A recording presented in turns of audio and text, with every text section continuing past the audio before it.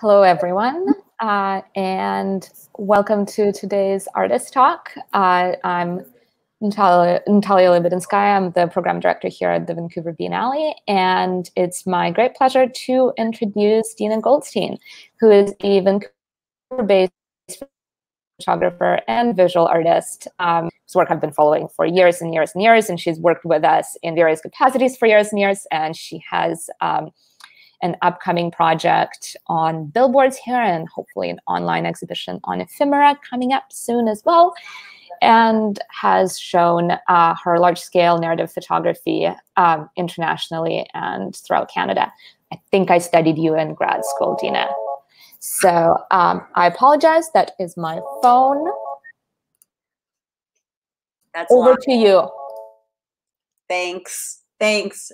Hi, everyone. I'm Dina Goldstein. I'm an artist working with large scale photography based in Vancouver, BC. I take iconic characters from popular culture and place them in alternate realities. And this is to examine uh, cultural uh, influences and inherent belief systems within contemporary society. I apply humor, irony, metaphor, and satire to my constructed realities, and I aspire to bring attention to our shared human, human condition and encourage empathy. I exhibit internationally at festivals, galleries, artist centers, and museums. Uh, the work can be enjoyed on several levels. Superficially, it can the work is colorful and there are many uh, details to take in uh, where you might have a laugh and move on. Or the viewer may want to spend more time and interpret the scene and the concept. Uh, they may or may not understand the allegory and the social commentary. Uh, they may or may not recognize the dark underbelly of the seemingly colorful image before them. Uh, and for those who connect with the piece, it may lead to further investigation, discourse, and debate. Ultimately, the work might be uh, disseminated within um, publications, in, within education, where the work is broken down and carefully examined. I began my career as a photojournalist and editorial photographer, and at the time I was shooting my own series with an interest um, of people living on the fringe, uh, people who display, displayed their individuality proudly. As an immigrant, I've always felt somewhat different than others, so I tend to gravitate to these kind of people. I spent uh, years at the local track documenting um, gamblers. After I became a mother and in 2005, I continued my career as an editorial photographer, um, but things were changing in the magazine world and the digital world. And digital cameras were becoming more affordable and the quality of pictures was actually declining. At the same time, my mother was diagnosed with breast cancer, and that changed my path towards uh, fine art. At the time of my mother's diagnosis, my daughter um, um, appeared from daycare with a growing obsession for Disney princesses. And this unexpected, uninvited influence led me to think about uh, fictional characters and the idyllic, happily ever after trope that was perpetuated by Disney.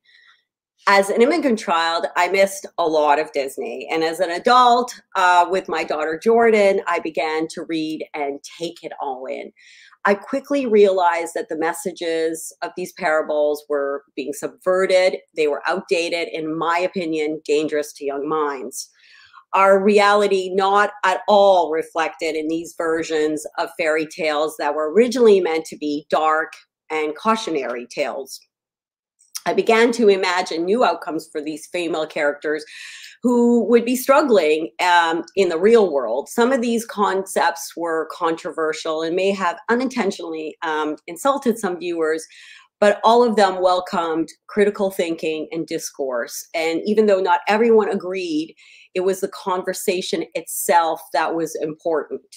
And Fallen Princesses led the way to my current filmic methodology, where I continue to produce um, large bodies of work consisting of about 10 images. Uh, after the success of Fallen Princesses, I con- continue to be inspired by my daughters um, and the influences of the unconscious collective or our common imagination. Um, I created a 10 piece sequential narrative that played out in a life size um, um, set that would um, play out this failing marriage of Barbie and Ken. Uh, and for this series, I could not rely on available locations, so I had to build a set. Um, I also began to document and film the process. And I produced behind the um, scenes videos so everybody could get an idea of my process. For In the Dollhouse uh, subverts the idealized lives uh, and marriage of these the first sexualized dolls ever and critiques the myth of perfection. It all ends up with Ken discovering his authentic self as he steps out of Barbie's shadow, and Barbie's fate is grim as she succumbs to an emotional breakdown and cuts off all of her golden locks. Unwittingly, my work was taking on its own life with a broad theme of disillusionment at its core. In 2012, I was awarded a residency to Mumbai, India, and that's when I was inspired to create my next series, Gods of Suburbia. I've always had an interest in uh, culture and religion, and in school, I was enamored by biblical stories and characters. I chose 10 religious figures from the major uh, belief systems in place, uh, humanizing them, having them instantly recognizable, and again, challenging them with a complex narrative. I know that I'm dealing with very sensitive issues, and in some cases, I could be putting my life in danger. In the case of Muhammad, I knew that it was important to include him in the series. And in this piece, I'm referring to the great cultural divide of the East and the West. In 2016, I decided to make a statement about materialism and commercialism. Uh, growing up in Vancouver, I witnessed my city evolving into an Asian hub with a vibrant Asian community. And I was very influenced by this. I was enamored by the 1930s advertising posters that featured beautiful girls advertising everything from soap to motor oil. These uh, posters were drawn and be with beautiful, intricate designs. And the push and pull of tradition and an expression of individu- individuality has always been on my mind, having come from Israel, where struggles still exist and divide people. The, this series was in two parts satirical advertising posters with made up products and diptychs of girls in traditional garb, as well as their everyday looks. And I tackled various social um, issues, including the most relevant and important issue for humanity the environment. I opened the Modern Girl show in Paris in 2016.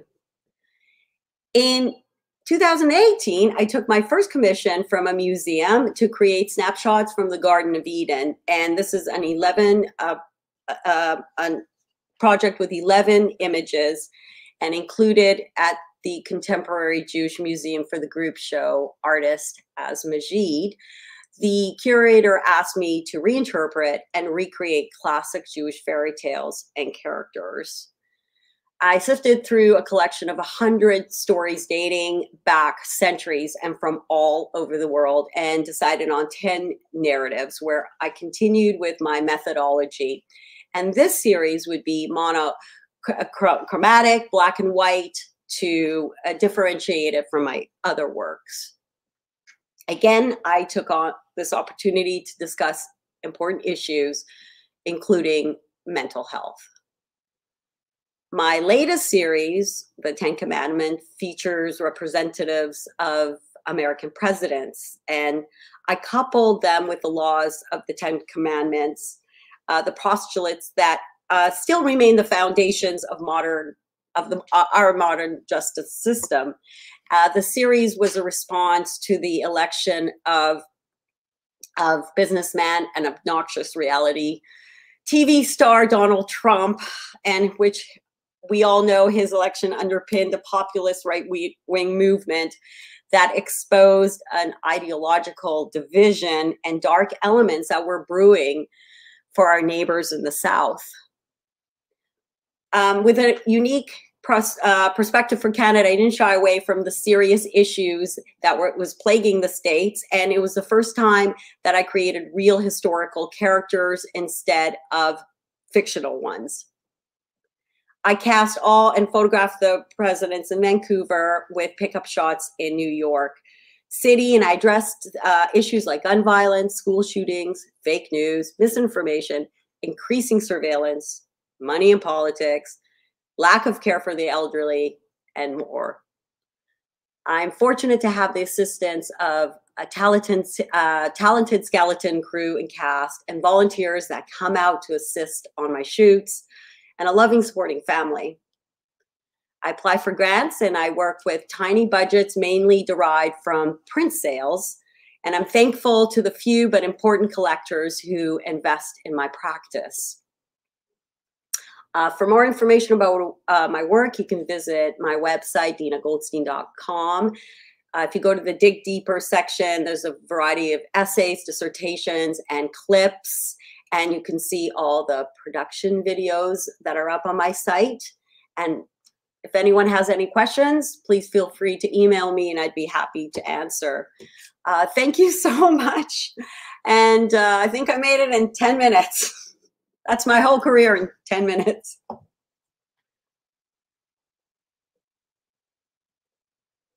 Hello?